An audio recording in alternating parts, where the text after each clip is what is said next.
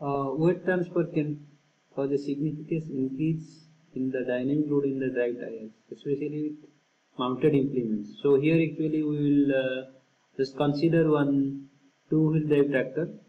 Okay, so where actually the distribution of weight is taking place between front wheel and uh, rear wheel. Uh, so improper distribution will cause uh, loss of uh, traction and uh, stability will be reduced.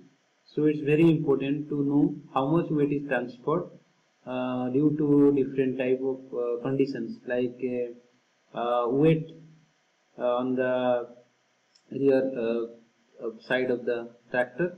So there is the mounted on the three point linkage. So let's start then. So basically we will start using the case one where actually the tractor is at rest on level ground. So let's just uh, start uh, uh, doing um, the drawing. So let's start A and B the points where it contacts with the soil. Here RF and RR are the soil reactions uh, due to tractor weight. W is the weight of the tractor. Y is the wheel base. XCG is the horizontal distance of uh, CG from the rear axle of the tractor. Okay. So let's uh, then start uh, doing math. Taking movement about A. So RF into Y. So let's take RF into Y. This one the distance.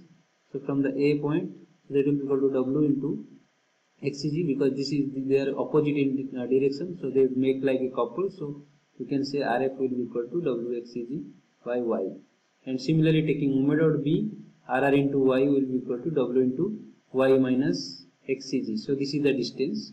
So this is W. So from B point, so that will be RR will be equal to W into Y minus XCG by Y. So so it's very clear. So the reactions can be find out when there is. So here actually there is no weight transfer. So basically weight will transfer when uh, it will be on the um, inclined surface and uh, let the uh, theta is the inclined surface. Okay so and the tractor is climbing so like uh, this way so uh, here actually the wheelbase is y is the horizontal uh, distance of uh, cg from rear axle and uh, ycg is the vertical distance of cg from the inclined surface.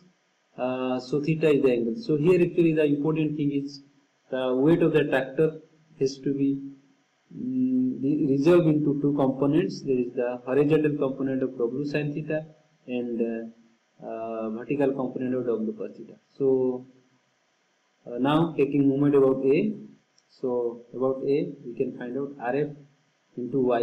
RF into Y is the distance with the wheel base. First W sin theta. W sin theta is this one because the, all are uh, about uh, uh, anti-clockwise. So we are taking one side W sin theta into YCG.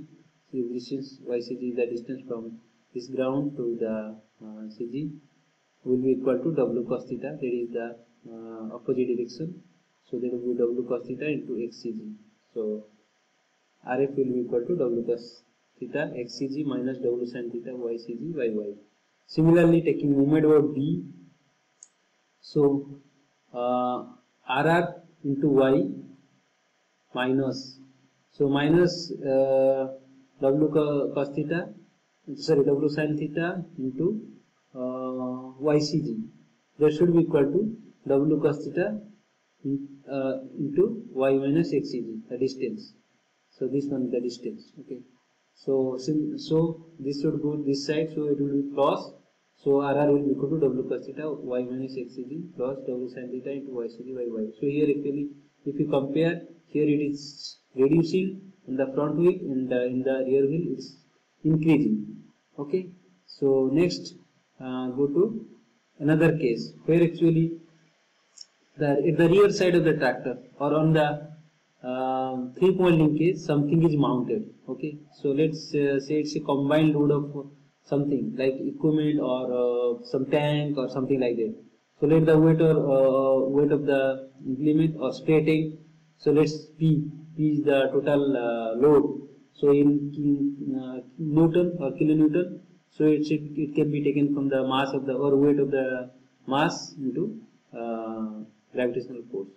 So other things are same. So y is the wheelbase, xcg is the um, distance of uh, cg of tractor from rear axle.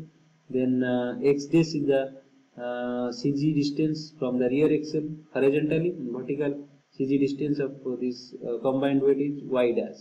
So now taking moment about a, so rf into y plus p into x dash should be equal to weight of the tractor into xcg.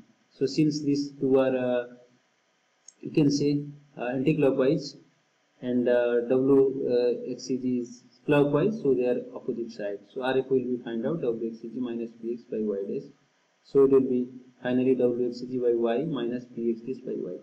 Similarly, taking moment about B, Rr into y, so you can say Rr into y the distance will be equal to W uh, weight into xcg uh, sorry y minus xcg so this is the distance so this distance plus p into x x dash plus y total distance so that will be then rr will be equal to p x x dash plus y y y plus w into y minus x. So now you can say the first uh, case you can compare so these two are same. W x c g by y. This is the uh, rf and rr so here actually the additional uh, here actually additional uh, weight is reduced. Here additional weight is uh, just uh, added. So here actually in the rear axle the weight is added and front axle weight is transferred. Okay.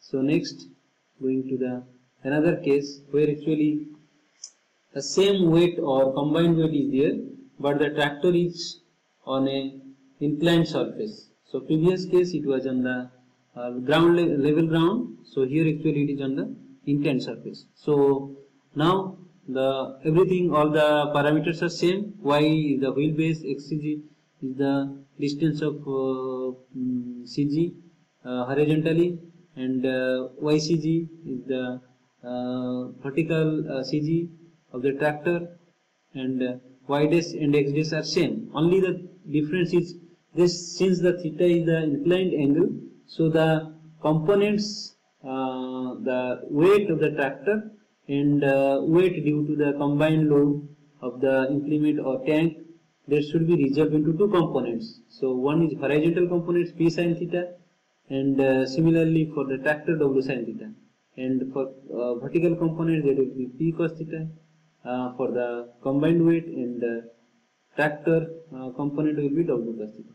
So these are the things. So once you resolve these things into this so you can take the moment about a. So if you take the moment about a p, p uh, rf into y so plus w sin theta into ycg w sin theta is this one into ycg is the distance from the ground to the cg plus p sin theta. P sin theta is this one and the distance from the ground is y dash. Plus p cos theta. Uh, since these all are uh, uh, opposite to the uh, uh, this load so w cos theta. So w cos theta into xcg will be the other side so from there that actually you can find out the uh, rf so rf will be this much. W cos theta into xcg minus w sin theta divided by y. So you can put into one side. Similarly taking moment about b you can find out rr into y minus w sin theta into ycg similar way so you can find out the RR will be equal to W cos theta into Y minus XCG plus W sin theta Y XCG. And similarly already we have done, so it's very easy. So you have to follow uh, these things. Okay.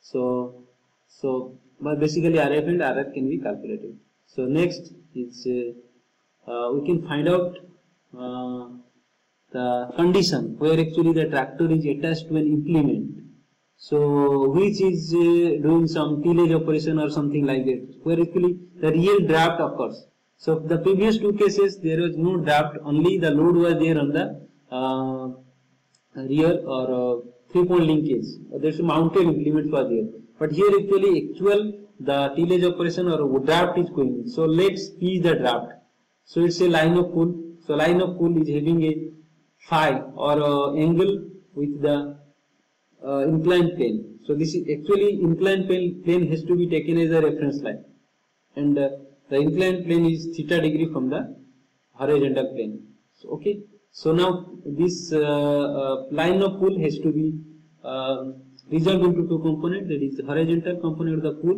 which is the drawbar pull and p sin theta is the uh, vertical component. So this is two component and uh, similarly the tractor uh, weight has to be resolved into two components w sin theta w cos theta. Here theta but this one is phi. Phi is the remember the phi is the angle of uh, line of pull okay? Line of pull and uh, horizontal.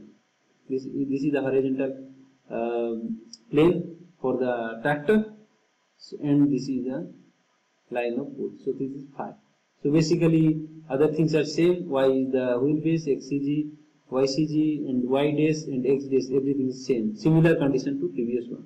So now we just uh, if you take the movement about a and b you can find out rr and rf so only the uh, if you uh, just uh, make the component then you can find out. So so i just put into this one. So if you consider the cases are same. So case uh, 4 and this case both are same. Only the difference between is in the in the case 4 there was only theta was there. But here is a additional component phi is there phi is the line of pull so here actually both are similar. Only difference is instead of p cos theta and p sin theta the which is replaced by just opposite p sin theta in case of p cos theta. Uh, sorry p sin phi in case of p cos theta and p cos phi in, in, instead of p sin theta. So phi is the angle of draft with the horizontal line. Okay? So therefore in the final equation it is similar little changes. So rf will be equal to w cos theta xcg minus w sin theta ycg minus p cos phi y dash minus p sin phi x dash so divided by y so here you can say if you see the condition for uh, for so it was p sin theta. Here is p cos phi. The, uh, in that uh, and this was p cos theta it is p sin phi. Similarly rr will be similar. So if, we can say these both are uh, similar but only the difference is this one. It was there in the first case also but other things are same only the uh, signs are different. So in this case it's deducted it, it is addition is there okay? So this is where transfer is taking place from the front wheel to rear wheel okay?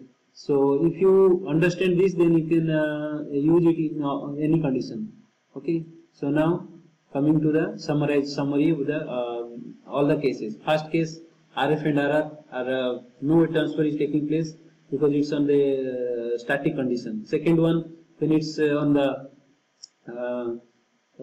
on a inclined surface so weight transfer is taking place this is the weight transfer minus this is plus so weight is transferring to the uh, rear axle so next uh, the case 3 so here actually uh, there was some weight on the um, three point linkage but uh, there was no uh, inclination. So this is the weight transfer px by y and which is transferring to the rear axle it is px plus y by y similarly case, 4 this is the weight transfer w sin theta y ycg minus y from the front axle to the rear axle where actually this was having a uh, inclined surface okay so finally for the uh, final equation for the weight transfer for the uh, where actually there is a drawbar pull or line of pull is there so where is a phi angle is there so this is rf and this one is the so remember this is the weight transfer. So now we can see this is the weight transfer